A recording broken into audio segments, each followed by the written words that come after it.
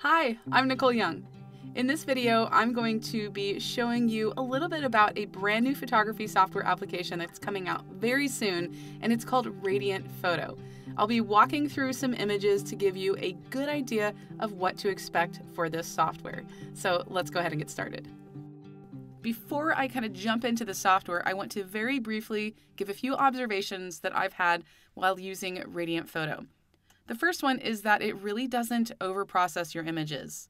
The auto or AI processing that it adds to your photos as soon as you add them into the software, it doesn't automatically just, you know, overprocess them. It's going to give you a really nice clean edit with really no artifacts or halos to it. And I found that this is very similar to the way and style that I like to edit my photos and almost how I would edit them completely with a very nice clean edit. It does use AI to edit your images. It also will kind of detect what's in your scene and edit it based on that. And I'll show you that here in a moment. And then lastly, Radiant Photo is not trying to be your only photography application. It's designed to be a complement to what you already use. For example, with my workflow, I tend to first edit my photos in Lightroom. I'll work on the white balance, maybe if it needs some correction, I will adjust the color profile and make some basic edits to the tone and colors overall. Then I'll send it over to Radiant Photo. Sometimes I do that directly from Lightroom.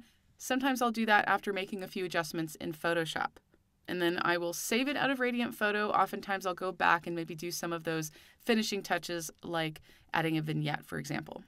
And I just want to say that I am actually really thrilled to see an app like this on the market so many photography apps tend to focus on those kind of extreme edits that we only do to our images every once in a while.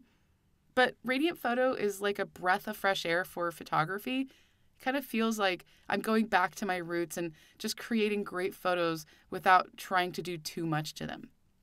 Okay, so let's go ahead and jump into the software and let's see what Radiant Photo can do for your images. So I have Radiant Photo open right here, and this is the standalone version. It also comes with plugins for Lightroom, Photoshop, and also Corel Paint Shop Pro. I'm not going to be showing how to use any of those in this video. This is merely a demonstration of what the app is all about, along with some walkthroughs of some quick edits to really give you an idea of what to expect with this software. So to start, I need to get some photos into the software.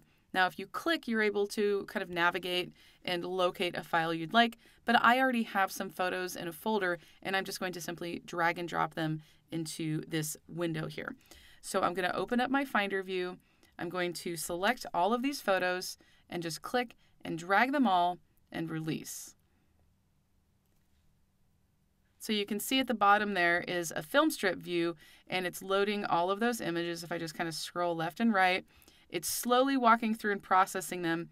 You'll notice a really small green kind of triangle there in the top right corner. When you see that, it means that it hasn't processed the photo yet. So, you know, you can see that in a lot of these, it's already kind of walked through and actually done that processing.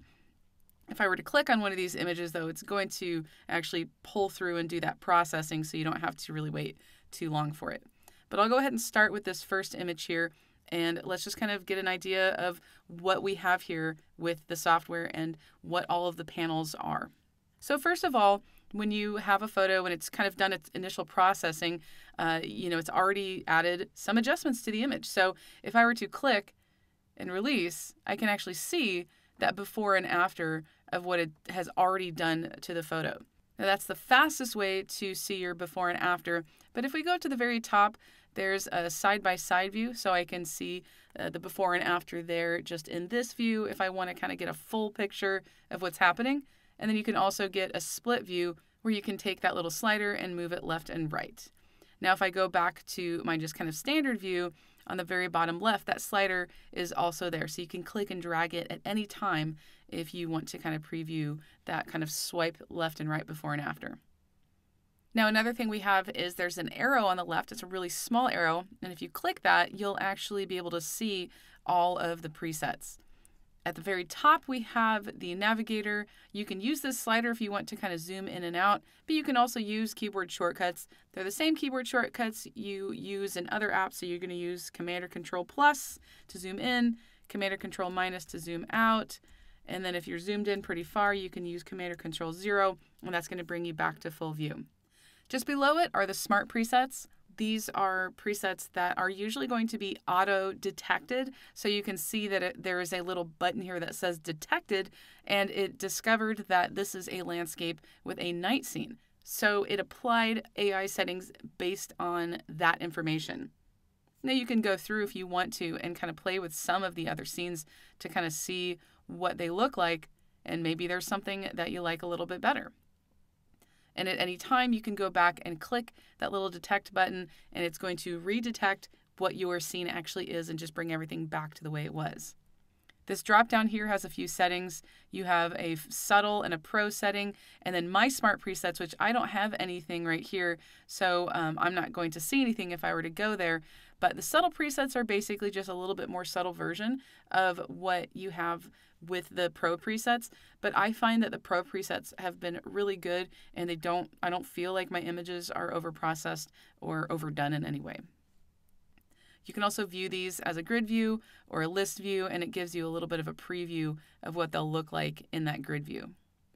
At the very bottom here, we have some standard presets, so you can kind of go through, you know, and kind of play with some of the different settings there, maybe preview them as grid view and uh, just you know just presets everybody knows what presets are so i'm not going to kind of focus on these for too long but the top presets those smart presets at the top here uh, this is going to be kind of the core part of what happens when you first initially bring a photo into Radiant Photo. So I'm just actually going to just collapse this left panel just so we have a little bit more space to actually view what's going on here because for the rest of everything else I'm going to be using mostly the panel on the right. Before I get there, though, uh, let's look at the film strip here again. I showed it a little bit, um, but you can always drag and drop more photos into this film strip if you want to add more images to your editing session. You can click this little plus icon to basically open a new photo and bring it in there as well. There's little icons here that are going to let you kind of sort through and just jump over to other photos. You can also use those left and right arrows on your keyboard, and that does the same thing. And then there's a nice little drop down here that actually gives you a list of the images. So if you know that you have one you want to jump to, you can click that photo and it'll take you right to it. At the very top, we have a few different editing modes. We always start out, for the most part, in quick edit, and this is where that smart preset's going to be applied. And then you just have a few options over here on the right for your smart editing. For a lot of images, that's probably all you'll need, especially if you have already processed your images in other applications. Most of the photos that you're going to see here are actually raw photos. So there is no pre-editing done to most of these images. And I'll point it out when I do have, I think I have one in here that is a PSD file, and I'll point that out when I get to it. So the other option here at the top is a detailed edit. And once you click that, then you get a lot more options here over on the right. You get, you know, the option to crop, you can kind of flip your image, you can rotate it. Then you have all these other options here uh, to kind of play with. So um, I'm just going to keep collapsing that left panel because I just want to kind of have a nice and kind of clean view here. And let's go ahead and jump over to a few other images and just kind of kind of preview this and see what it's doing to your photos. So this next image here is a PSD file. So this was a focus stack that I did in Photoshop, and I did a little bit of editing to the image beforehand, uh, mostly white balance correction. But it, as a PSD file, it's still going to make some edits. If I click and release, you can see that it's adding some nice contrast and some color and detail to the photo. And and this is a great edit. I would be really happy with this. I think the only thing I might want to do is just maybe add like a vignette or something to it, uh, just to kind of really bring the focus to the center. That's a PSD photo, so um, you know you can use almost any image type inside of Radiant Photo. Okay, let's jump to the next one here. Now, first, actually, I'm going to go back over to those presets on the left because I want to show that it found that this is a food and drink photo. And if I actually back up real quickly, I can see that it found that this is flowers and plants, which is very appropriate because it's a close up of a spider on a flower. So that's perfectly fine. Um, but this is, uh, you know, it categorized it correctly. So then it makes adjustments based on that category. So once those basic edits have been applied, you can play around with some other edits. I usually like to kind of see what those original edits did. So I usually kind of click and release, you know, and it's it added some some really nice contrast without making things too bright or too dark. It boosted the color in the right areas and overall did a really great job. If I go back over to quick edit at the top, you know, this is where you're going to have just just very simple edits that you can work with. So if you're working on a photo or on a group of photos and you don't want to spend too much time on each image. You just want them to pop. Maybe you're pushing out a whole bunch of photos for proofing uh, for your client to view, and you want the photos to look good, but you don't want to spend too much time on them. That's a, this is a good option for that. You know, so we have exposure here, uh, here on the right, and you know I'm just going to kind of play around with the settings to show you what they do. Uh, one nice thing that they've done with some of these settings is they give you these low, medium, and high options, so you can just kind of test what it looks like with, you know, somewhere in this range. And look, at high to this software is 51, and that's fantastic because that is a really high setting. Rarely do people push things all the way up, and the highest you can go here is 150. So high for this is is really that's pretty intense, but it's it's not going to be overdone. You know, so that's what the exposure is going to do there. Um, I probably would want this more like a low setting because I don't want it to be washed out. We have another thing in here called depth. Uh, you can kind of think of this as the way I've thought of it, at least, is kind of like either kind of like a uh, bringing out the details, which is what that definition is going to do, or kind of boosting the contrast. You know, so you can choose between those two. Play with your kind of strength setting there. You can also go down and adjust the vibrancy and just increase the color saturation basically without you know vibrancy is going to be a little bit kinder and gentler to the red areas. So you're not going to see those areas those colors get overdone. Let's jump to the next image I have a macro of a dragonfly. And if I click and release on this that made a huge difference in that edit there. So one thing I can see that I would want to do with this photo is crop it and I would need to go to the detailed edit to do that. So I'll click detailed edit and then I'll go over I'll click that crop tool. And when you do any kind of cropping, the first thing you need to do is click Start Cropping. You want to choose your aspect ratio first, but it's going to default to original, and that's usually a setting I'm going to stick with for the most part.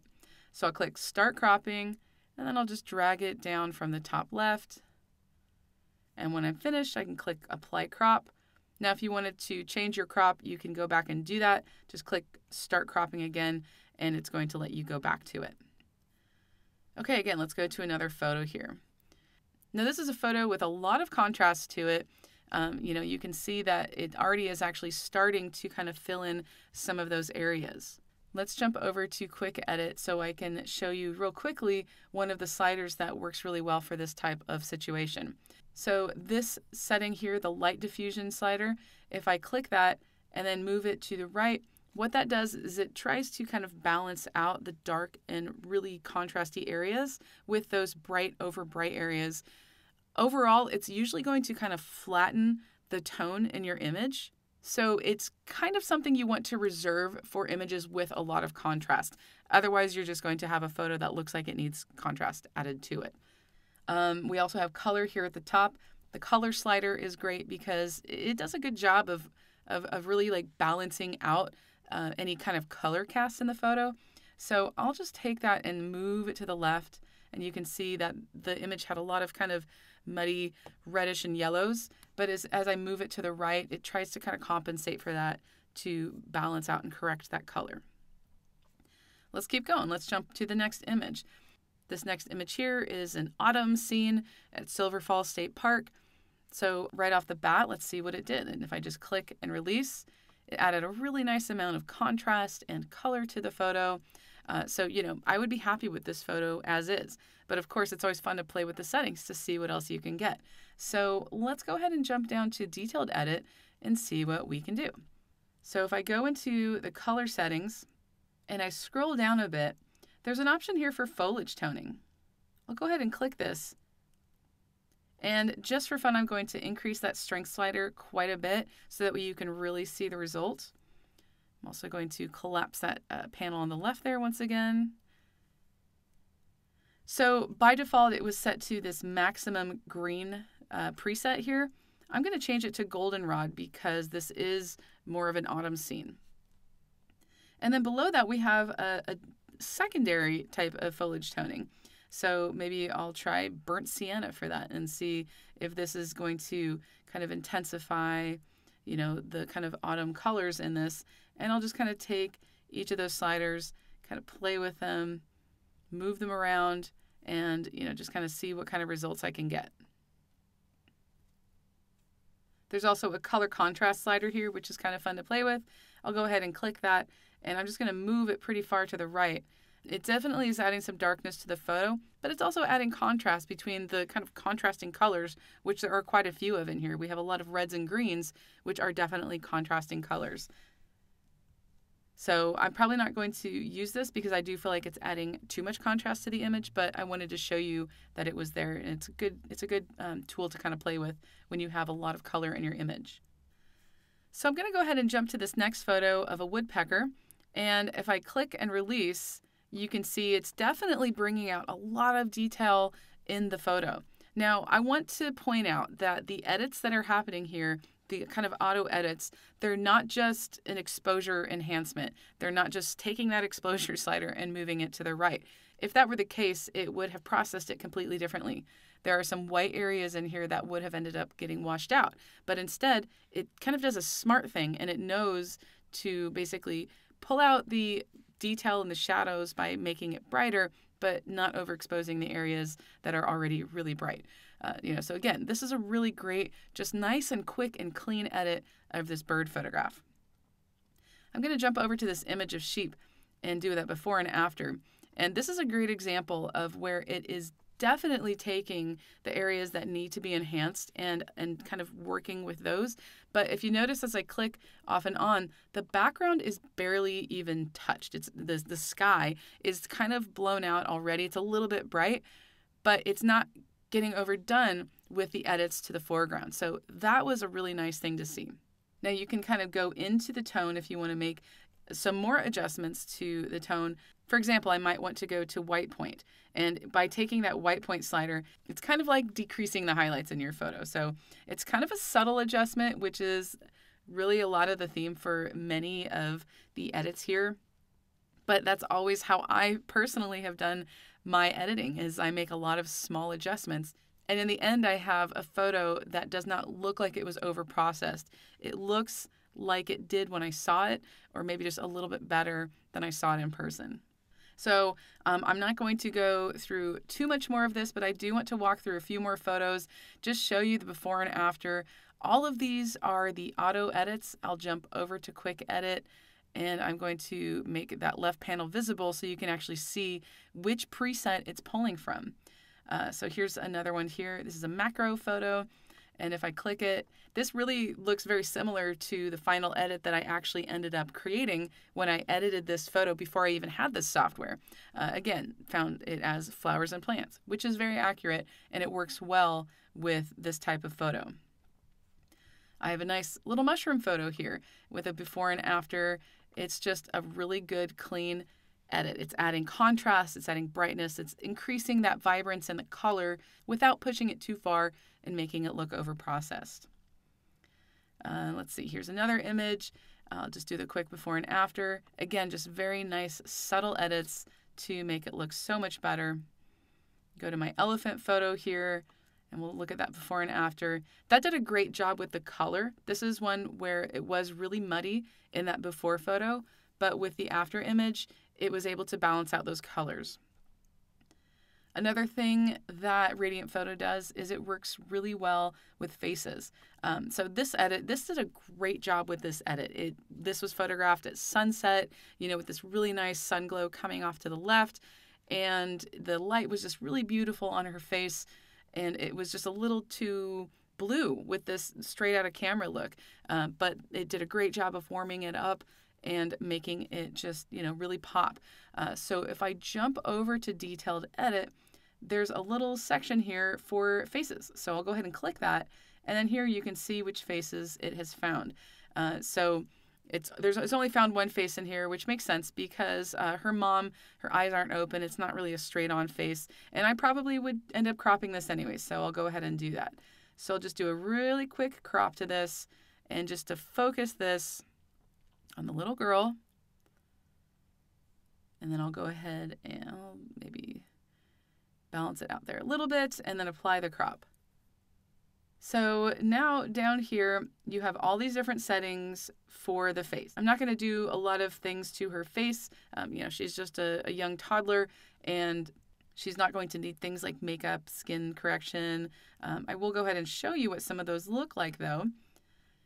We've got skin adjustments. You know, she doesn't really have a lot of uh, blemishes going on. I mean, there is some touch up here that I would need to do outside of this app uh, if I wanted if I wanted to clean that up. It looks like she had some food on her face, but there are some, you know, like eye enhancement is a great one. If I were to take that and I'm just going to push it all the way to the right, it's going to look a little intense, but you can see what it's doing, that it's really making those eyes pop. You know, if I have it all the way to the left, or actually let me move it about halfway, and then I'll just toggle it off and on, it's making a nice subtle enhancement there. Uh, you can enlarge the eyes if you want to, and you know you can push it all the way to the right, and that looks a little bit cartoonish. But if you just want to make it just a tiny bit enlarged, um, you know that's almost so subtle that you can't even see it. So I probably wouldn't even use that. And you know she's a little girl; she doesn't have any dark circles. If you had a photo where there were no catch lights, there are catch lights. You can see them. There's that horizon in the background, uh, but you can add catch lights to a face. So I wanted to just kind of point out that there are some really great features there for portrait photographers as well. Uh, so, you know, that's pretty much it. I have a few more photos here I can kind of show you. Um, again, this image looked like the smart editing color maybe worked a little too hard on this photo. So I would probably drag this back to bring back some of the original color. Uh, it looked at the image and it saw a whole bunch of yellow and reds. So, as you know, in, in the software's mind, it thinks that there's just too much of it. So, it tries to compensate for that. But even at 100, it really didn't do an over intense job. It still kept it kind of to a nice edit. And I would have still been happy with that photo. And then let's just jump to this last photo here, and I'll just do a quick before and after. Um, I really like the coloring that it did to this actually. And in fact, if you wanted to add even more color to your photo, one thing I haven't jumped over to yet is the kind of color grading panel. So we have color grading, you know, you can toggle this effect here, uh, you know, and then just kind of play around with some of the settings. Um, or you can go ahead and just jump down to any of these presets. You know, we've got a whole bunch of presets you can work with to actually apply a different coloring effect to your photo. Uh, I, I, believe these are LUT files, uh, so you know they're very standard classic type of file that you can use. And then at the very bottom here, if you create an image that you really like and you want to apply it to other images, you can save it as a preset to apply it later on. I hope you enjoyed this demonstration of the Radiant Photo software. If you'd like to learn more, head over to nicolesy.me slash radiant. You can also use the link in my blog post or in the description of this video. Have a wonderful day and take care.